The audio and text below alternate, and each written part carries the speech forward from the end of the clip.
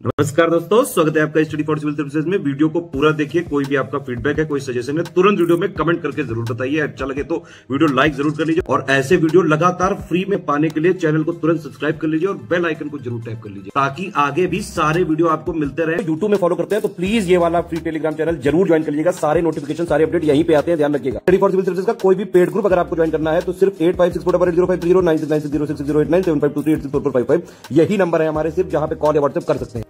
Instagram पे हमारा page ज़रूर फॉलो कर लीजिएगा। Study for civil dot services है। ट्विटर पे हमको ज़रूर फॉलो कर लीजिएगा। At the rate study for civils है।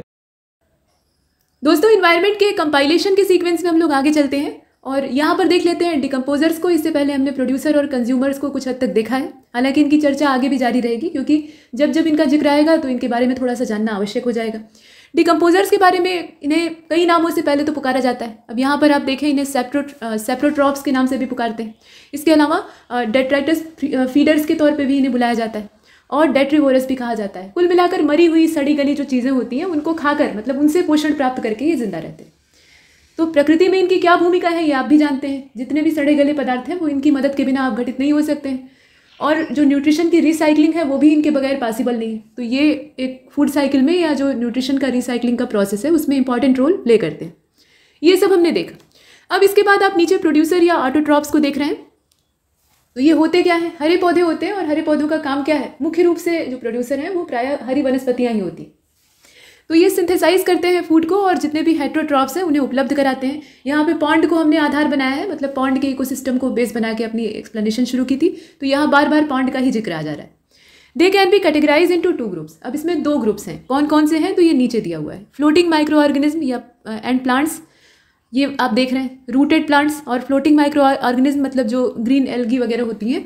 And plants are called phytoplanktons छोटे कम मात्रा में रहेंगे तो ये दिखाई नहीं देंगे, लेकिन जब इनका पूरा गुच्छा इकट्ठा हो जाएगा तो ये हरे हरे रंग के पानी पर तैरते हुए दिखाई देते हैं। दे आर माइक्रोस्कोपिक ऑर्गेनिज्म मतलब माइक्रोस्कोप की मदद के बिना आप इन्हें नहीं देख सकते sometimes they are so evident in pond that they make it look green in colour पानी का रंग हरा दिखाई देने लगता है जब ये बहुत प्रचुर मात्रा में, एक बड़े अमाउंट में पॉन्ड के अंदर या पॉन्ड के पानी के अंदर पाए जाते हैं। अब इसमें स्पाइरोगायरा है यूलोथ्रिक्स है, इस तरह के तमाम जीव हैं। आगे चलते रूटेड प्लांट्स को देख लेते हैं। In uh, concentric zones uh, from periphery to uh, the deeper layers. यहाँ पे जो पेरीफेरी वाला पार्ट है वहाँ से लेकर डीपर लेयर्स तक इनकी उपस्थिति पाई जाती है। अब सनलाइट जहाँ पर जितनी जैसी मिल रही है उसके हिसाब से इनका डेवलपमेंट होता है। Three distinct zone of aquatic plants can be seen with increasing depth of water in the following अब यहाँ पे देखिए फॉलोइंग ऑर्डर में से पहला तो जोन ऑफ़ इमरजेंट वेजिटेशन है। पहला जो इसमें पार्ट है उसे आप देख रहे हैं। और दूसरा वाला जो है ये जोन ऑफ़ रूटेड वेजिटेशन है। विथ फ्लोटिंग लीव्स, उनकी जो पत्तियाँ हैं, वो क्या करती है? तैरती रहती है। बाहर पानी पर तैरती रहती है और वो जो सनलाइट उन्हें प्राप्त होती है, उससे फोटोसिंथेसिस करके अपना काम चलाते हैं। इसके अलावा जोन ऑफ़ सबमर्जेंट वेजिटेशन इसमें जितनी भी समुद्री घास या समुद्र में अगर आप ले रहे हैं तो समुद्र वाला, नहीं तो पौंड के स्ट्रक्चर को अगर ले रहे हैं, उसके इकोसिस्टम को बेस बना रहे हैं तो उसमें जो पौंड की वीड्स होती हैं, उनको आधार बनाया गया है। वो आधी डूबी रहती हैं, आधी ही बाहर रहती हैं और कभी कभी क्या होता है कि पूरी ही अंदर डूबी रहती है। तो इस प्रकार से इनकी तीन वेराइटी है। रूटेड प्लांट्स को हमने यहाँ पर तीन अलग अलग भागों में देखा है। अब इसमें जो पहला वाला पार्ट है मतलब आप देख रहे हैं जोन ऑफ़ इमरजेंट वेजिटेशन तो इसमें टाइफा बुलरश और सेजिटेरिया जैसे जो प्लांट्स हैं वेजिटेशन है, वो आते हैं। और जो तैरती हुई पत्तियों वाले पौधे होते हैं, उसमें निम्फिया का एग्ज़ाम्पल काफ़ी अच्छा होता है। और पानी से पूरा ये कवर होते हैं ऊपर से और अंदर पत्ते या जो पौधे हैं, उनका डेवलपमेंट होता है। तो इस तरह के हाइड्रिला है, इन्हें खरपतवार ही कहा जाता है लीड्स की श्रेणी में आते हैं। हाइड्रिला, रुपया, मस्क, ग्रास, इस तरह की जो चीज़ें हैं, वो इसमें शामिल। आगे बढ़ते हैं। अब यहाँ पे कंज्यूमर्स या जो हेट्रोट्रॉप्स हैं, उनको देख लेते हैं। तो ये इस प्रकार के जीव होते हैं विच फ़ीड डायरेक्टली और इनडायरेक्टली ऑन ऑटोट्रॉप्स मतलब या तो ये सीधे तौर पे ऑटोट्रॉप्स पे निर्भर होंगे, और नहीं तो इनडायरेक्टली निर्भर होंगे, लेकिन कुल मिलाकर पोषण ये वहीं से प्राप्त करते हैं। जैसे कि इसमें टेडपोल का नाम आप देख रहे हैं स्नेल है सनफिश है, इस तरह के जो जीव हैं, वो इसमें आते हैं, और तमाम जीव हैं, इसमें तो लिस्ट बहुत लंबी। अब यहाँ पर कहा गया कि pond animals can be classified into following groups क्योंकि हमने पॉन्ड को ही आधार बना लिया इसलिए उसी के चारों ओर सारी एक्सप्लेनेशन जो है वो घूम रही मतलब एग्ज़ाम्पल भी तो इसमें पहला पार्ट आप देख रहे हैं, ये जू प्लैंक्टन्स है, जिन्हें कि हिंदी में जंतु प्लवक कहा जाता है। जैसे फाइटो प्लैंक्टन्स होते हैं, वैसे ही ये जू प्लैंक्टन्स है। और जिस प्रकार से फाइटो प्लैंक्टन्स जो है, वो पानी की सतह पर तैरने वाले छोटे छोटे पौधे होते हैं। वैसे ही ये छोटे छोटे जीव होते हैं माइक्रो ऑर्गेनिज्म ठीक है? अब इसके बाद आप देखें इसमें नाम के तौर पे आप साइक्लोप्स को रख सकते हैं साइप्रस को रख सकते हैं, इस तरह के जीव इसमें आते हैं। और फिर नेक्टॉन्स का नंबर आता है, इसमें मछलियाँ हैं, जो कि अपनी इच्छा से पानी में तैर सकती और अंत में जो बेनेथिक एनिमल्स हैं, वो आते हैं और ये एकदम गहराई में रहते हैं, जो बेनेथ होती है, वहाँ पे रहते हैं। इसमें माइटस हैं और कुछ क्रस्टेशियन आते हैं, इसके अलावा स्नेल, इस तरह के जीव इसमें पाए जाते हैं। अब यहाँ पर डिकम्पोजर्स के बारे में कुछ और फैक्ट दिए हुए हैं। तो यहाँ देखिए they are distributed throughout the entire in in the whole pond but in the sediment most evident ये वैसे तो पूरे पॉन्ड में पाए जाते हैं, प्रचुर मात्रा में ही मिलते हैं, लेकिन जो सेडियामेंट होते हैं, जहाँ पर थोड़ा सा तलछट या किसी कचरे का या किसी सेडियामेंट का जमा हो जाता है तो वहाँ पर इनकी तादाद ज़्यादा होती है। कुल मिलाकर जहाँ से इन्हें न्यूट्रिशन मिलेगा, जहाँ पर इनके काम की चीज़ होगी, वहीं पर ये ज़्यादा पाए जाएँगे। These are bacteria and fungi मोटे तौर पर वैसे तो कुछ भी हो सकते हैं, लेकिन ज़्यादातर ये फंगी या बैक्टीरिया ही होते हैं। अब इसमें राइजोप्स का नाम आता है राइजोपस भी इसे कहा जाता है। इसके अलावा और भी नाम जैसे पेनिसिलियम है। और ये तालाब की जो एकदम नीचे की गहराई है, वहाँ पर पाए जाते हैं। अब यहाँ पे फ़ंक्शन ऑफ़ इकोसिस्टम देख लीजिए। तो ecosystem are complex dynamic system they perform certain function अब इसमें किस प्रकार के फ़ंक्शन है? तो पहला तो एनर्जी फ्लो जो है, पूरे फ़ूड चेन में कैसे होता है? एक वन डायरेक्शनल होता है आप जानते हैं और हर स्टेप पे या हर लेवल पर आगे बढ़ने पर एनर्जी धीरे धीरे करके घटती जाती है। टेन परसेंट वाला रूल यहाँ पर लगता है। और सेकेंड वाला फ़ंक्शन क्या है? तो ये न्यूट्रिएंट साइकिल है। यहाँ पर आप देख रहे हैं क्रम से। ठीक है एनर्जी फ्लो को हमने देखा। न्यूट्रिएंट साइकिल में बा, जो बायो जियो केमिकल साइकिल्स हैं वो सब आते हैं। उनको भी हम डिटेल में देखेंगे। Water cycle carbon cycle etcetera और इकोलॉजिकल सक्सेशन या इकोसिस्टम का डेवलपमेंट वही सक्सेशन जो है प्राइमरी और सेकेंडरी लेवल का उसी से इकोसिस्टम डेवलप होता है। अब यहाँ पर होम्योस्टेसिस को देख रहे हैं आप तो ये साइबरनेटिक भी कहा जाता है। या इसको कह सकते हैं फीडबैक कंट्रोल मैकेनिज्म तो pond lakes meadows marshland grassland desert and forest are example of natural ecosystem इसमें बहुत सारे फैक्ट एक साथ मिक्स करके दिए हुए अब यहाँ फ़ूड चेन को पहले देख लीजिए। तो फ़ूड चेन में शुरुआत कहाँ से होती है? एनर्जी ट्रांसफ़र का दौर चलता रहता है। पहले तो हम ये जानते ही हैं कि इकोसिस्टम को एनर्जी देने का काम हमारा सूर्य करता है। और प्रत्येक सोलर सिस्टम के अंदर एक तारा होता है, यानी स्टार होता है और उसी की ग्रेविटी में फंसकर जितनी भी सेलेस्टियल बॉडीज़ हैं, आसपास की वो चक्कर लगाती रहती हैं उसका। तो ऐसे पूरा सोलर सिस्टम जनरेट होता है। अब इसमें से जिस प्लानट पर या जिस भी जगह पर ऑर्गेनिज्म पाए जाएँगे या जीवन की उपस्थिति होगी तो वहाँ पर एनर्जी प्राप्त करने के लिए वो पूरी तरह से उस स्टार पर डिपेंडेंट होंगे। तो वही हाल अपने भी इको में है या अपने भी पूरे सोलर सिस्टम में है। अर्थ पे अभी तक का जो पता किया हुआ शोध है मतलब जितनी हमें जानकारी, उसके आधार पर हम जानते हैं कि सिर्फ़ पृथ्वी पर ही जीवन जीवित जीव पाए जाते हैं और कहीं पर इनकी उपस्थिति नहीं है। हालाँकि एलियंस की कल्पना हम करते हैं। तो ऐसे में सनलाइट ही एकमात्र सबसे बड़ा एनर्जी का सोर्स है। हालाँकि कुछ और सोर्सेज हैं, लेकिन वो भी इनडायरेक्टली सनलाइट से जुड़े हुए हैं। तो यहाँ वही दिया हुआ है। Transfer of food energy from green plants जो कि प्रोड्यूसर की भूमिका में होते हैं through a series of organism with repeated eating and being eaten is called a food chain मतलब ये किसी को खाते हैं और कोई दूसरा इनको खा लेता है। जैसे हरे पौधे जो है, वो ज़मीन से खुराक लेते हैं। मतलब उनका जो न्यूट्रिएंट है, उसको खाते हैं। उनकी जड़ों के माध्यम से वो उनके शरीर के अंदर पहुँचता है। और सनलाइट को ये अपने अंदर एब्जॉर्ब करते हैं, उससे पूरा अपना जो फ़ोटो एनर्जी है, उसको केमिकल एनर्जी में कन्वर्ट करके अपने अंदर स्टोर कर लेते हैं। फिर इन हरे पौधों को कोई जो वेजिटेरियन जीव है, वो खा लेता है। तो इस प्रकार से उसका पेट भर जाता है, उसको न्यूट्रिशन मिल जाता है। फिर उस वेजिटेरियन को कोई तीसरा जो नॉन वेजिटेरियन जीव है सेकेंडरी लेवल का या टर्शरी लेवल का, वो खाना शुरू कर देता है। तो ऐसे होता है। मतलब पहले सेकेंडरी वाला वेजिटेरियन यानी जो प्राइमरी कंज्यूमर है, उसको खाएगा और फिर सेकेंडरी वाले को जो खा लेगा, वो ऊपर वाला लेवल हो जाएगा। तो इसमें एनर्जी का फ्लो एक वन डायरेक्शनल होता है और ऊपर जाने पर धीरे धीरे करके कम होता जाता है। तो इससे पूरी फ़ूड चेन एक बैलेंस में रहती है, नहीं तो मनमाने तरीके से आगे बढ़ जाएगी। लेकिन इसमें ज़्यादा स्टेप्स नहीं पाए जाते हैं। वजह यही है एनर्जी बहुत दूर तक नहीं चल पाती। तो ये हमने देखा। अब यहाँ पर एक ग्रासलैंड का जो इकोसिस्टम है, वो दे रखा है। ग्रासलैंड माने सिर्फ़ घास ही घास, ढेर सारी। और छिटपुट कुछ जगहों पर उगे हुए, कुछ पेड़। तो पेड़ों को यहाँ पे ऐड नहीं किया गया है, हालाँकि उसमें भी पत्तियाँ ही होती हैं। तो टिड्डे यानी जो ग्रॉस ऑपर होते हैं, वो घास के तिनकों को खाते हैं। और ग्रॉस ऑपर को खाते हैं मेढक। मेढक को खाता है सांप, हालाँकि सांप का ये प्रिय भोजन नहीं है, लेकिन फिर भी। और सांप को खाने वाला जीव कौन सा है? तो मोर भी खाता है और हॉक यानी ईगल भी खाते हैं। तो इस तरह से यहाँ पे टर्शरी कंज्यूमर की हैसियत से या जो एक्सट्रीम यहाँ पे सुप्रीम कंज्यूमर जो है, उसकी हैसियत से अगर देखा जाए तो ये ईगल। ये सांप को खा लेता है तो ये आप देख रहे हैं कि इसमें सांप भी नॉन वेजिटेरियन है, मेढक भी नॉन वेजिटेरियन है और ईगल जो है वो भी नॉन वेजिटेरियन है। लेकिन ये एक दूसरे को खा रहे हैं मतलब इसमें जो भारी पड़ रहा है वो दूसरे को खा ले रहा है। तो इसीलिए यहाँ पर लिखा हुआ है कि repeated eating and being eaten तो ये इकोसिस्टम का नियम है, इसको कोई भी बदल नहीं सकता। अब इसके बाद आगे चलते हैं।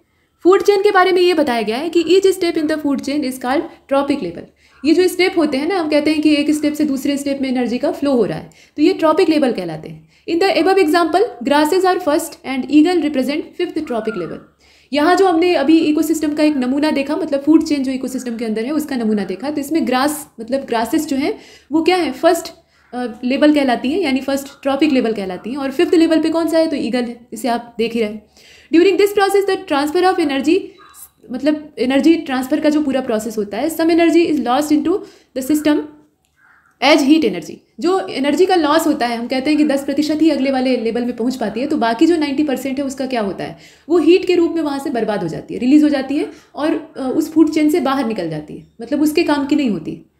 तो इस तरीके से उतनी ऊर्जा इसमें से हीट के रूप में जाया होती है। And is not available to next trophic level अगले ट्रॉपिक लेवल को ये उपलब्ध नहीं हो पाती। Therefore the number of steps are limited in a chain इसीलिए किसी भी फ़ूड चेन में, चाहे ये वाली ग्रासलैंड की फ़ूड चेन हो या किसी भी सिस्टम की हो, उसमें लिमिटेशन होती है। मतलब बहुत ज़्यादा ट्रॉपिक लेवल नहीं पाए जाते। उसके पीछे रीज़न यही है। एनर्जी जितनी दूर तक चलेगी, उतने ही ट्रॉपिक लेवल मौजूद होंगे। अब यहाँ पर आप देख रहे हैं कि चार से लेकर पाँच तक ही ट्रॉपिक लेवल उपलब्ध होते हैं। मैक्सिमम पाँच आमतौर पर यही देखा जाता है। Following trophic levels can be identify in a food chain अब नीचे देख लेते हैं कि और क्या चीज़ें दी हुई है। तो यहाँ पे ऑटोट्रॉप्स को आप देखिए। They are the producer of food for all other organism of the ecosystem ये सबसे महत्वपूर्ण होते हैं। जो एबायोटिक फैक्टर है, वो तो इंपॉर्टेंट है ही है, क्योंकि सेल का डेवलपमेंट या जितनी भी जीवन के लिए आवश्यक चीज़ें हैं, उन सब का डेवलपमेंट उन्हीं के मदद से स्टार्ट हुआ है। उन्हीं की वजह से स्टार्ट हुआ है। वो खुद ज़िंदा नहीं होते हैं, लेकिन ज़िंदा जीव को बनाने में सहयोग करते हैं। और उसके बाद जो सेकेंड पोजीशन पे इंपॉर्टेंस है, वो इन हरे पौधों की है, जो कि ऑटोट्रॉप्स हैं। ये अपना भोजन खुद बना लेते हैं, मिट्टी और सूर्य के प्रकाश से, और उसके बाद दूसरों को भोजन उपलब्ध कराते हैं। अब यहाँ देखें they are largely green plant and यहाँ आप देख रहे हैं largely green plant and convert in organic material in the presence of solar energy by the process of photosynthesis into chemical energy यानी फ़ूड के रूप में, यानी रासायनिक ऊर्जा के रूप में, ये पूरा अपना जो ऊर्जा का संचय है, उसको करके रखते हैं। फोटोसिंथेसिस यही प्रोसेस है। सूर्य के प्रकाश से ये रासायनिक ऊर्जा का उत्पादन करते हैं। The total rate at which the radiant energy is stored by the process of photosynthesis in the green plant is called gross primary production यहाँ पे जीपीपी की डिफिनीशन दी हुई है, इसको ध्यान से देखिएगा। The total rate at which the radiant energy is store by the process of photosynthesis in a green plant is called gross primary production GPP कभी कभी पूछ लिया जाता है। एक पूछने का मतलब यह है कि यहाँ पे चार ऑप्शन वाला जो क्वेश्चन है मतलब वनडे एग्ज़ाम के लिए तो उसमें स्टेटमेंट दे देते हैं। कि बताइए कि ये डिफिनीशन सही है अथवा गलत? तो पहचानना आपको आना चाहिए। और इसके साथ ये भी दिया हुआ है कि this is also known as total photosynthesis या फिर टोटल एसिमुलेशन इसी को टोटल फोटोसिंथेसिस के, ना, के नाम से भी जाना जाता है। अब यहाँ पर आप कुछ और चीज़ों को देखिए। From the gross primary productivity a part is utilise by the plant for its own metabolism the remaining amount is store by the plant as net primary production मतलब कुछ हिस्सा तो जो एनर्जी प्राप्त करता है पौधा उसका अपने मेटाबॉलिज्म पे खर्च हो जाता है। उसको खुद भी तो बड़ा होना है, विकसित होना है, तभी तो वो आगे जो न्यूट्रिशन का प्रोसेस है, उसे कंप्लीट कर पाएगा। तो खुद तो अपने डेवलपमेंट में यूज़ कर लेता है। और जो बचा हुआ पार्ट है, वो यहाँ पर स्टोर हो जाता है प्लांट के अंदर और वो नेट प्राइमरी प्रोडक्शन कहलाता है, यानी एनपीपी कहलाता है which is available to consumer और ये उन लोगों को प्राप्त होता है जो इन पौधों को खाते हैं। तो ये है पूरा मामला ऑटोट्रॉप्स का। अब यहाँ पे हर्बीवोरस कार्निवोरस ओमनिवोरस सबको देख लेते हैं एक करके।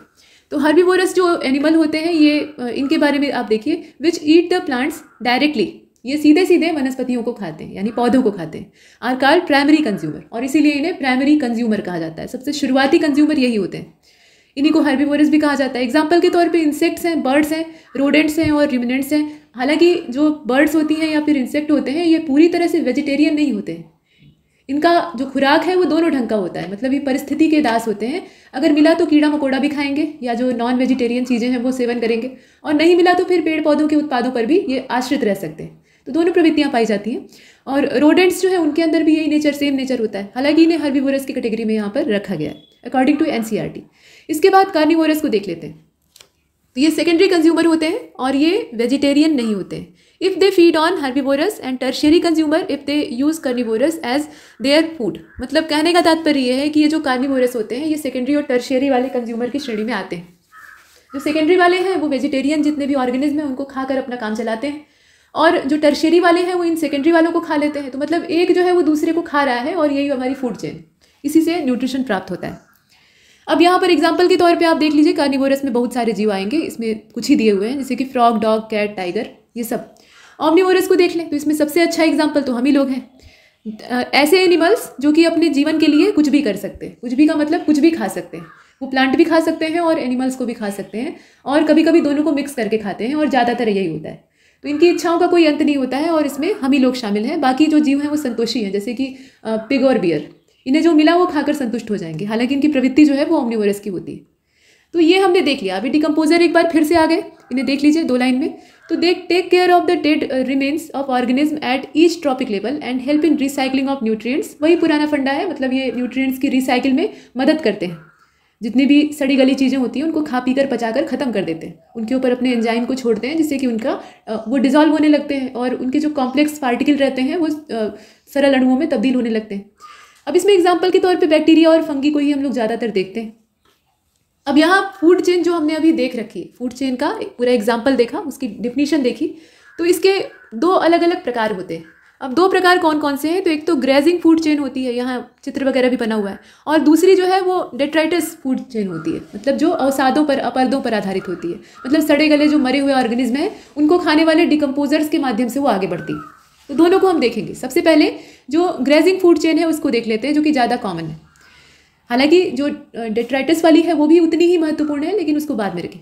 अब इसमें देखिए which start from green plants ये जो फ़ूड चेन है, ये स्टार्ट होती है ग्रीन प्लांट्स हरे पौधों से ही शुरू होती है। मतलब सोलर एनर्जी जो है, वो पहले घास को मिलती है, जो कि प्रोड्यूसर है, और घास को खाने वाला टिड्डा है, जो कि प्राइमरी कंज्यूमर है। मेढक बैठा है, इसका इंतज़ार कर रहा है कि तुम घास खाकर बाहर आओ तो हम तुम्हें खाएँगे।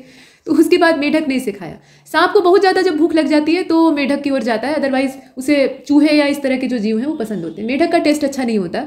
मतलब सांप को अच्छा नहीं लगता। तो वो पकड़ लेता है इसे। और ये सेकेंडरी कंज्यूमर हुआ। उसके बाद टर्शियरी कंज्यूमर में इसे देखिए टर्शियरी कंज्यूमर भी सांप को कहेंगे और सेकेंडरी कार्निवोरस भी कह सकते हैं।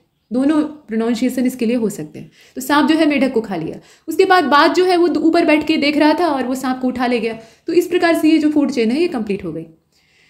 ये आपने देखा? आगे बढ़ते नेक्स्ट यहाँ पे देखिए, यहाँ पे डेट्राइटस फ़ूड चेन जो है, उसके बारे में दिया हुआ है। तो ये डेड ऑर्गेनिक मैटर से स्टार्ट होती है। इसमें प्रोड्यूसर कौन है? डेड ऑर्गेनिक मैटर है। हालाँकि वो भी इनडायरेक्टली सनलाइट पे ही डिपेंड है।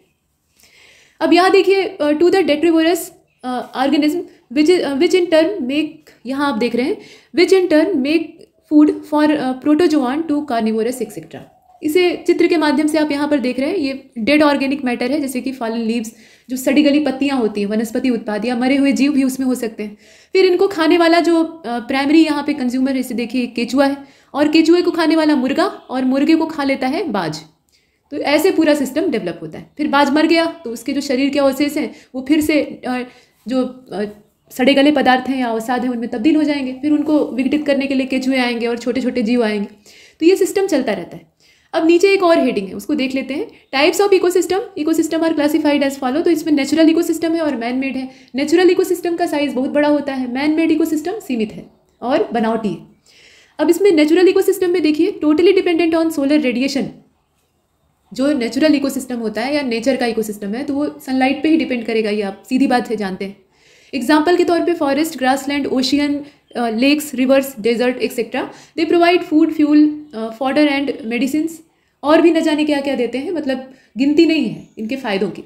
और ecosystem dependent on solar radiation and energy subsidise alternative sources such as wind rain and tides तो एनर्जी कहाँ कहाँ से प्राप्त होती है, वो दे रखा है। एग्ज़ाम्पल के तौर पे tropical rain forest tidal estuaries and coral reef ये नेचुरल इकोसिस्टम का यहाँ पे नमूना और परिभाषा हमने देखी। मैन मेड जो इकोसिस्टम होता है, उसमें क्या है? तो डिपेंडेंट ऑन सोलर एनर्जी ये भी सोलर एनर्जी पर ही डिपेंड करते हैं। अब इसमें एग्रीकल्चरल फील्ड्स हो सकते हैं मतलब खेत हो सकते हैं, और एक्वाकल्चर जो पॉन्ड हैं, वो भी इसमें आते हैं। डिपेंडेंट ऑन फॉसिल फ्यूल यहाँ आप देख रहे हैं एग्ज़ाम्पल के तौर पे अर्बन और इंडस्ट्रियल जो इकोसिस्टम है, वो इसमें आता है। अब यहाँ पर फ़ूड वेब को देख लेते हैं। फ़ूड चेन को तो हमने देख लिया, लेकिन कभी कभी क्या होता है और हमेशा ऐसा होता है, हमारे इकोसिस्टम में स्टेबिलिटी को बनाने के लिए। नहीं तो अगर एक फ़ूड चेन होती तो आप समझिए कि बीच से अगर कोई एक कड़ी उसमें से गायब हो गई मतलब या तो विलुप्त हो गई या मर गई या खत्म हो गई, जैसे भी। तो उसकी वजह से वो वहीं से ब्रेक हो जाती है और नष्ट हो जाती। तो पूरा इकोसिस्टम तबाह हो जाता, लेकिन ऐसा नहीं होता है। अगर बीच से कोई एक कंज्यूमर या प्रोड्यूसर खत्म हुआ तो उसके, उसका स्थान लेने के लिए दूसरा वहाँ पर आ जाता है या दूसरे से वो अपना न्यूट्रिशन प्राप्त कर लेते हैं अगल बगल वाले। तो इस प्रकार से बनता है फ़ूड वेब सीधे तौर पे समझा जाए तो दो फ़ूड चेन या दो से अधिक या बहुत सारी फ़ूड चेन्स जो है जब आपस में इंटरेक्ट करना शुरू कर देती हैं तो ऐसे बन जाता है फ़ूड वेब और कभी कभी क्या होता है कि एक फ़ूड चेन का जो ऑर्गेनिज्म है, वो अपनी ज़रूरतों को पूरा करने के लिए दोनों ही फ़ूड चेन से जुड़ जाता है. एक स्थान से तो ज़रूरत पूरी हो ही रही थी, लेकिन उसका मन नहीं भरा तो वो दूसरी वाली फ़ूड चेन के भी संपर्क में आ गया और उससे भी अपना न्यूट्रिशन ले रहा है. मतलब मनचाहा न्यूट्रिशन प्राप्त कर रहा है. तो अब यहाँ आप देखें कि trophic level in an ecosystem यहाँ देखिए trophic level in an ecosystem are not linear rather they are interconnected ये लीनियर प्रोसेस नहीं है कि मतलब सीधा चलेगा, हरे पौधे से टिड्डा, टिड्डे से मेढक मेढक से सांप, ऐसे नहीं। ये उलझा हुआ होता है, जितना सीधा दिखता है, उतना है नहीं। ये फ़ूड वेब के रूप में यानी जाल के रूप में पाया जाता है। Thus food food web is a network interconnected food chain existing in an ecosystem किसी एक सिस्टम के अंदर जितनी भी फ़ूड uh, चेन्स पाई जाती हैं उसको इंटरकनेक्ट करने वाला ये पूरा जो जाल होता है उलझा हुआ जाला होता है इसको फ़ूड वेब कहते हैं।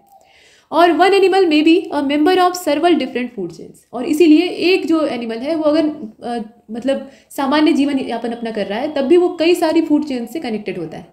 और कई बार तो उसको मालूम भी नहीं होता है कि हम कई सारी फ़ूड चेन से कनेक्टेड हैं। वो जाने अनजाने ही कनेक्टेड हो जाता है। और food webs are more realistic model of energy flow through an ecosystem किसी इकोसिस्टम में एनर्जी का फ्लो कैसा होता है वन डायरेक्शनल होता है, वो तो हमने देख लिया। लेकिन किस तरीके से होता है, उसका पूरा सिस्टम उसका पूरा मैकेनिज्म क्या है, इसको अगर समझना है तो हमें फ़ूड वेव को समझना होगा। उससे हम बेहतर तरीके से इस चीज़ को जान सकते हैं। आगे बढ़ते हैं। इकोलॉजिकल पिरामिड को देख लेते हैं। तो ecological pyramid are the graphic representation of trophic levels जो ट्रॉपिक लेवल हम ऐसे एरो के थ्रू दर्शा देते हैं कि अच्छा ये सेकेंडरी वाला है, ये टर्शियरी वाला है, उसको थोड़ा अच्छे ढंग से और उसके बायोमास या अलग अलग फॉर्मेट के रूप में समझने के लिए हम पिरामिड बना लेते हैं। तो पिरामिड एक ट्रैंगुलर शेप का थ्री डायमेंशनल फिगर होता है मतलब त्रिविमीय आकृति होती है, मिस्र के पिरामिड आप सभी जानते हैं। तो ठीक वैसा ही डिज़ाइन बनाकर हम अपने इकोसिस्टम को बेहतर समझ पाते हैं।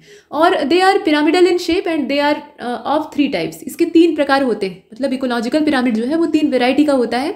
और कौन कौन सा होता है उसको हम देखेंगे। The producer make the base of pyramid इसमें जो प्रोड्यूसर्स होते हैं वो उसका बेस तैयार करते हैं। जो भी पिरामिड हम बनाते हैं उसमें नीचे का बेस चाहे वो इस तरह का बेस हो या फिर तिकोना बेस हो कभी कभी पिरामिड उल्टे होते हैं ना तो उस कंडीशन में। तो ये नीचे वाला जो बेस है, ये प्रोड्यूसर्स का होता है। और उसके बाद यहाँ आप देख रहे हैं। And subsequent tiers of the pyramid represent herbivorous carnivorous and top carnivore levels मतलब इसमें अलग अलग लेवल्स ऊपर की ओर बढ़ते जाते हैं। नीचे जो आधार है, वो प्रोड्यूसर का हो गया, उसके बाद जितने भी हर्बीबोर हैं, उन्हें खाने वाले, वो आ जाते हैं। फिर हर्बीबोर्स को खाने वाले कार्निवोरस आ जाते हैं। और फिर उनको खाने वाले, जो इनसे भी बड़े वाले मांसाहारी हैं, वो आ जाते हैं। तो ये सिस्टम चलता रहता है। मतलब बिल्कुल फ़ूड चेन की तरह से ही है, लेकिन उसका ग्राफिकल रिप्रेजेंटेशन हम इसलिए करते हैं ताकि उसकी मात्रा और उसको और अच्छे ढंग से समझ सके। तो पिरामिड यहाँ पर हमने देखा कि तीन प्रकार के कौन कौन से हैं और कैसे होते हैं? मतलब इनका नेचर कैसा होता है? तो पिरामिड ऑफ़ नंबर पहले देख लेते हैं। और इसका जो फिगर है वो यहाँ पर बना हुआ है। ये दोनों तरह का हो सकता है, सीधा भी हो सकता है और उल्टा भी हो सकता है। तो इसकी डिफिनीशन देख लीजिए। जैसा इसका नाम है, वैसा ही इसका काम है। ये करता क्या है? तो ऑर्गेनिज्म का नंबर बताता है। मतलब इसके सहारे हम जो रिप्रेजेंटेशन देते हैं, उससे हमें मालूम होता है कि जो ऑर्गेनिज्म हैं, वो कितनी संख्या में है और कितने मतलब जितने ट्रॉपिक लेवल उस पिरामिड के अंदर पाए जा रहे हैं तो प्रत्येक लेवल में कितने मात्रा में ऑर्गेनिज्म मौजूद है। जैसे कि प्रोड्यूसर की संख्या कितनी है प्राइमरी कंज्यूमर कितने हैं सेकेंडरी वाले कितने हैं, ऐसे हम लोग देखते हैं।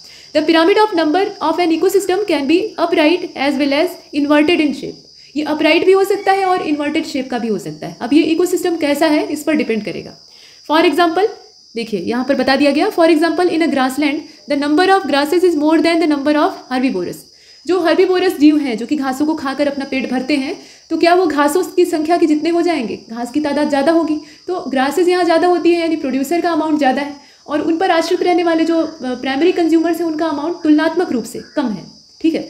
तो इसलिए यहाँ पर सीधा पिरामिड बनता है। मतलब सीधा जैसे ट्रेंगुलर शेप का आपका पिरामिड होता है, वैसा बनता है। नीचे आपका घास वाला एरिया रहेगा जो कि प्रोड्यूसर है।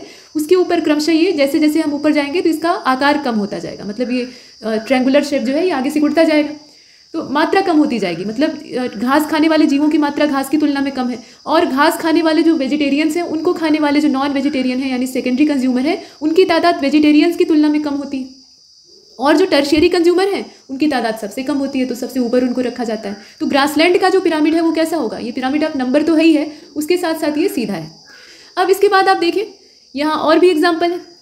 जैसे कि, मान लीजिए इकोसिस्टम जो है, वो ग्रासलैंड का नहीं, बल्कि एक फॉरेस्ट का है, जंगल का है।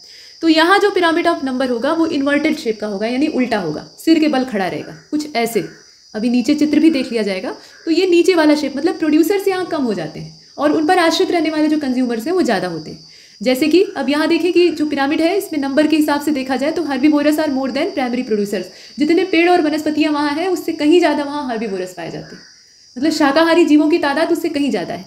और उन शाकाहारी जीवों को मार कर खाने वाले जो जंगली जीव हैं, उनकी तादाद उनसे भी ज़्यादा है। तो इसलिए पिरामिड यहाँ पर उलट जाता है इन्वर्टेड शेप का हो जाता है। अब ये दिया हुआ है। अब एग्ज़ाम्पल के तौर पर यहाँ और भी दिया हुआ है, जैसे कि as you may observe that many caterpillars and insect feed on a single tree मतलब बहुत सारे कीड़े मकोड़े, सिर्फ़ कैटरपिलर ही नहीं, इस तरह के बहुत सारे इंसेक्ट जो होते हैं, वो एक अकेले पेड़ पर आश्रित होते हैं। तो इसलिए यहाँ पे प्रोड्यूसर एक अकेला पेड़ है और बाकी उसकी तादाद मतलब उसका उपभोग करने वालों की तादाद जो है वो हज़ारों की संख्या में हो सकती है। Pyramid of number for a parasitic food chain is always inverted and spindle shape मतलब जो पैरासिटिक फ़ूड चेन होती है ना, उसके अंदर अगर पिरामिड ऑफ़ नंबर आप ड्रॉ करेंगे तो हमेशा इन्वर्टेड शेप का होगा। मतलब वहाँ अगर आप देखें तो जो पैरासाइट्स होते हैं वो जिस चीज़ को चूसते हैं, जिससे अपना पोषण प्राप्त करते हैं, वो हमेशा कम होती है। और उसकी तुलना में जो पैरासाइट्स होते हैं उनकी तादाद ज़्यादा होती है। तो प्रोड्यूसर घटेगा तो निश्चित रूप से पिरामिड जो है वो इन्वर्टेड हो जाएगा। अब यहाँ जो चित्र है उसको देख लीजिए, सीधा बना है, ये ग्रासलैंड का है, इसमें अपराइट पिरामिड के तौर पे से आप देख रहे हैं, और इन्वर्टेड शेप का जो है उसे भी देख लीजिए। जैसा बताया गया था, ठीक वही चीज़ है। मतलब प्रोड्यूसर्स की मात्रा पे डिपेंड कर रहा है, यहाँ ज़्यादा मात्रा में प्रोड्यूसर हैं, तुलनात्मक रूप से प्राइमरी सेकेंडरी और टर्शियरी कंज्यूमर्स के तो इसलिए पिरामिड आपका सीधा है अपराइट है। और ये वाला जो है, ये इन्वर्ट हो गया है, ये फॉरेस्ट का पिरामिड या इस तरह का मतलब जो पैरासाइट से बनने वाला पिरामिड है, उनके आधार पर बनाया गया है। अब इसके बाद पिरामिड ऑफ़ बायोमास को देख लेते हैं। ये तो हमने पिरामिड ऑफ़ नंबर देखे। पिरामिड ऑफ़ बायोमास क्या है? तो this represent the total standing crops biomass at each trophic level ठीक है? Standing crop biomass is the amount of the living matter at any given time इसका मतलब क्या है वो जानते रहिए। और it is express as G M per unit मतलब ग्राम पर यूनिट एरिया और kilo calorie per unit area अब इसको आप जैसे यूनिट के तौर पे लेना चाहें। In most of the terrestrial ecosystem the pyramid of biomass is upright ये ध्यान दीजिएगा कभी कभी क्या होता है ना, ऐसे प्रश्न पूछ लिए जाते हैं कि जो टेरेस्ट्रियल इकोसिस्टम है, वहाँ पे बायोमास का पिरामिड कैसा होना चाहिए, सामान्य परिस्थितियों में? तो ज़्यादातर या जो सामान्य परिस्थिति होती है, उसमें अपराइट ही होता है इन्वर्टेड नहीं होता है। और in case of aquatic ecosystem तो इसमें ये इन्वर्टेड होता है। ज़्यादातर जो स्थितियाँ हैं, बहुत अपवाद इकट्ठा हो जाएगा तो अलग चीज़ है। नहीं तो ज़्यादातर जो एक्वाटिक इकोसिस्टम होता है, वहाँ पे बायोमास का पिरामिड इन्वर्टेड शेप का होता है। एग्ज़ाम्पल के तौर पर यहाँ बता दिया गया। In a pond phytoplanktons are the main producer they they have very short life जो फाइटोप्लैंक्टन्स होते हैं, वो मेन प्रोड्यूसर होते हैं। मतलब उन्हीं पर आश्रित छोटी मछलियाँ होती हैं, फिर उन छोटी फिशेज़ को खाने वाली बड़ी वाली होती हैं और बड़े बड़े जीव। इस तरीके से जो फ़ूड चेन है, वो आगे बढ़ती है। मतलब पॉन्ड का पूरा इकोसिस्टम तैयार होता है। तो इसमें जो फाइटो होते हैं, यानी जो कि प्रोड्यूसर हैं, उनका लाइफ स्पैन बहुत छोटा होता है। मतलब बहुत कम समय तक जीवित रहते हैं। तो इनकी तादाद भी कम होती है। ठीक है? मतलब रैपिड टर्नओवर रेट होता है। मतलब they are rapidly replace by new plants एक मरता है तो उसकी जगह दूसरा आ जाता है। तो इससे इनकी आबादी बढ़ नहीं पाती है। जितने पैदा हो रहे हैं, उतने मर रहे हैं। तो अब बताइए इसमें जो पॉपुलेशन है, वो बैलेंस कंडीशन में रहेगी। न कम होगी, न बढ़ेगी। तो इनकी तादाद सीमित होती है। और इसीलिए बताया गया कि their total biomass at any given time is less than the biomass of herbivorous supported by them इनके इनके ऊपर आश्रित रहने वाले जो हर्बीवोर्स हैं, उनका अमाउंट इनकी तुलना में हमेशा ही ज़्यादा होता है। ये हमने देख लिया। आगे चलते। यहाँ देखिए, ये कलरफुल तरीके से दर्शा दिया गया है। इन्वर्टेड शेप में कैसा बनता है और इसमें जो समुद्र का या एक्वाटिक इकोसिस्टम है कुल मिलाकर तो उसमें किस तरीके से होता है? फाइटोप्लैंक्टन्स को आप देखिए कि सबसे कम तादाद में यहाँ पर दिखाई दे रहे हैं। और इन पर आश्रित रहने वाले जू प्लैंक्टन्स होते हैं, यानी कि छोटे छोटे जीव होते हैं और इन छोटे जीवों को खाने वाली छोटी छोटी मछलियाँ होती हैं जो कि सेकेंडरी कंज्यूमर है। और फिर इन छोटी मछलियों को खाने वाली बड़ी मछलियाँ होती हैं जो कि टर्शरी कंज्यूमर है। सिर्फ़ मछलियाँ ही नहीं इसके अलावा जितने भी पानी में रहने वाले जीव हैं वो भी इसमें शामिल हो जाते हैं। और ये आपका टेरेस्ट्रियल इकोसिस्टम का है। यहाँ आप देख रहे हैं कि हरे पौधों की तादाद कहीं ज़्यादा है और उन पर आश्रित रहने वाले जो बोर्स हैं उनकी तुलना में आ, मतलब हरे पौधों की तुलना में कम है। तो इनका जो अमाउंट है यहाँ सिकुड़ गया। पिरामिड जो है वो एकदम अपराइट शेप का है। इसके बाद इनके ऊपर आश्रित रहने वाले ये सेकेंडरी हो गए और अंत में यहाँ भालू को आप देख ही रहे हैं, ये टर्शेरी है। तो इस तरीके से हमने पिरामिड ऑफ़ बायोमास को देखा। अब लास्ट जो है इसमें पिरामिड ऑफ़ एनर्जी है, इसको देख लेते हैं। तो दिस पिरामिड रिप्रेजेंटेड माफ़ कीजिएगा represents the total amount of energy at each trophic level हालाँकि एनर्जी के डिस्ट्रीब्यूशन पे चर्चा हमने पीछे भी की थी कि जब हम लोग आगे के ट्रॉपिक लेवल्स में बढ़ते हैं, यानी आगे स्टेप बढ़ाते हैं तो उसमें देखते हैं कि एनर्जी का लेवल कम हो रहा है। मतलब जितनी एनर्जी ग्रीन प्लांट प्राप्त करते हैं सनलाइट से, उतना जो हर्बीबोरस है वो नहीं प्राप्त कर पाते। उससे कम एनर्जी उनको मिलती है, मात्र टेन परसेंट उसका। और जो हर्बीबोरस है, उनका भी मतलब उनके अंदर जितनी स्टोर एनर्जी है, उसका भी मात्र टेन परसेंट ही आगे वाला जो सेकेंडरी कंज्यूमर है, उसको प्राप्त होती है। ऐसे ही आगे चलते चलते वो कम होती जाती तो वही बताया गया है कि this pyramid represent the total amount of energy at each trophic level energy is express in term of rate such as kilo calorie per unit area per unit time यहाँ पर यूनिट एरिया और पर unit time को आप देख रहे हैं, या फिर calorie per unit area calorie माफ़ कीजिएगा कैलोरी पर यूनिट एरिया और पर यूनिट टाइम एग्ज़ाम्पल के तौर पे आप देख लीजिए, क्योंकि यहाँ यूनिट से ज़्यादा इंपॉर्टेंट ये है कि ये दिखता कैसा है मतलब बनता कैसे है। तो in a lake autotroph energy यहाँ देख रहे हैं आप इस twenty thousand eight hundred ten kilo calorie per यहाँ पे जो इसकी यूनिट है, उसे आप देख रहे हैं। Energy pyramids are never inverted and always upright एक छोटा सा एग्ज़ाम्पल आपको लेक में मतलब झील का दे दिया गया और लेक्स के विषय में अंदर का जो एक, उसका इकोसिस्टम है, उसके संबंध में एनर्जी का फ्लो आपको दिखाया गया। अब यहाँ पर ये यह बताया गया है कि एनर्जी का जो पिरामिड है, वो हमेशा सीधा होता है अपराइट होता है, वो कभी भी इन्वर्टेड नहीं हो सकता है, ये ध्यान दीजिएगा। अब यहाँ पर फिगर ड्रॉ किया गया, उसमें ये दर्शाया गया है कि कैसे जो एनर्जी है उसका हीट के रूप में लॉस हो जाता है। मतलब हीट भी एक एनर्जी है तो हीट के रूप में वहाँ से एनर्जी रिलीज़ हो जाती है और वो वापस किसी भी लेवल में लौट कर नहीं आती। तो यहाँ प्राइमरी प्रोड्यूसर्स जो हैं, वो सबसे ज़्यादा सनलाइट से अपनी ऊर्जा ग्रहण करते हैं। और इस एनर्जी को अपने अंदर स्टोर करके रखते हैं। कुछ तो इनके मेटाबॉलिज्म में खर्च होती है और बाकी इनके अंदर स्टोर हो जाती है। फिर इनको खाकर प्राइमरी कंज्यूमर जो है वो इसका मात्र टेन परसेंट ही प्राप्त करते हैं। फिर उसके बाद जो सेकेंडरी है वो उसका भी एक प्रतिशत प्राप्त कर पाते हैं। मतलब टेन परसेंट वाला रूल हर जगह लागू होता है। ये आपने देखा। आगे बढ़ते हैं। यहाँ पे आप देखें इकोलॉजिकल इफिशियंसी को। किसी इकोसिस्टम के ट्रॉपिक स्ट्रक्चर से एक चीज़ क्लियर हो जाती है कि amount of energy decreases at each subsequent trophic level ये हमने पीछे देख लिया है। मतलब ऊर्जा जो है वो लगातार घटती जाती है। This is due to two reason अब इसमें दो रीजन कौन कौन से हैं? तो एट ईस्ट ट्रॉपिक लेवल या at each trophic part of available energy is lost in respiration और यूज़ अप इन मेटाबॉलिज्म होता यह है कि रेस्पिरेशन के थ्रू जो एनर्जी है वो लॉस हो जाती है हीट में तब्दील होकर बाहर हो जाती है, या फिर मेटाबॉलिज्म में इस्तेमाल हो जाती है तो इसकी वजह से उसका क्षय हो जाता है। लेकिन जैसे भी होता है, दोनों ही तरीके हो सकते हैं। जैसे भी हो एनर्जी का जो लॉस है वो बड़े पैमाने पर होता है। और दूसरा रीज़न क्या हो सकता है? तो a part of energy is lost at each transformation that is when it moves from lower to higher trophic level as heat energy transformation की वजह से भी ऐसा होता है. अब यहाँ पर ये बताया गया, ये इकोलॉजिकल इफिशियंसी को नापते कैसे? तो असल में इकोलॉजिकल इफिशियंसी एक रेशियो है. Bit between the amount of energy acquired from the lower tropic level and the amount of energy transferred from higher trophic level is called ecological efficiency दोनों के बीच का जो रेशियो है, जब हम निकालते हैं तो वो इकोलॉजिकल इफिशियंसी कहलाता है। अब यहाँ पर लिंडमैन नाम के एक जो साइंटिस्ट है, उनका नाम दिया हुआ है। इन 1942 इन्होंने डिफाइन किया था these ecological efficiencies for first time and propose 10 percent rule और उन्होंने ही 10 परसेंट रूल दिया था। एग्ज़ाम्पल के तौर पे इफ़ आप ऑटोट्रॉप प्रोड्यूस ऑटोट्रॉप्स जो है, वो अगर 100 कैलोरी ऊर्जा को प्रोड्यूस कर रहे हैं, इतनी एनर्जी वो अपने अंदर से प्रोड्यूस कर सकते हैं। तो हर्बीबोरस जो है वो सिर्फ़ उसमें से दस कैलोरी ही प्राप्त कर पाएँगे। बाकी जो है वो हीट के रूप में बर्बाद हो जाएगा। और उसके बाद जो कर्निबोरस हैं जो कि हर्बीबोरस को खाएँगे तो कर्निबोरस जो है उनको अगर एनर्जी प्राप्त होगी तो वो सिर्फ़ एक कैलोरी होगी। यहाँ जो टेन परसेंट वाला रूल है उसके हिसाब से। मतलब दस का दस प्रतिशत ऐसे। However they may they may be slight variation in different ecosystem and ecological efficiencies may range from uh, 5 to 35 percent कहने का तात्पर्य ये है कि ये लिंडमैन का सामान्य कॉन्सेप्ट है। मतलब जनरल कंडीशन में ऐसा ही होता है, लेकिन कई बार और हमेशा ही इकोसिस्टम हमेशा एक जैसे नहीं होते। हर इकोसिस्टम एक जैसा हो, या फिर आपस में समानता हो, सारे प्रोसेस एक जैसे हो ये आवश्यक नहीं है। तो इसलिए एनर्जी में भी वेरिएशन हो सकता है। ये आवश्यक नहीं है कि टेन परसेंट एकदम टू बी एग्जैक्ट उतना ही प्राप्त उससे कम भी हो सकता है, उससे ज़्यादा भी हो सकता है। इसीलिए इकोलॉजिकल इफिशियंसी की जो रेंज है, वो अलग अलग इकोसिस्टम को ध्यान में रखते हुए पाँच से लेकर पैंतीस के बीच में वेरी करती है। और ecological efficiency also called Lindeman efficiency इसको लिंडमैन इफिशियंसी भी क्यों कहा जाता है? क्यों कहा जाता है वो आप जानते हैं। इसके बाद आप देखें एक्वाटिक इकोसिस्टम के कैरेक्टरिस्टिक्स ठीक है? अब इसमें हम लोग फ्रेश वाटर इकोसिस्टम को देखेंगे और बाकी जो मैंग्रोव और एस्टोरियन इकोसिस्टम है, उसको भी आगे देखने की कोशिश करेंगे। फ़िलहाल इस लेक्चर में इतना है। तब तक के लिए नमस्कार।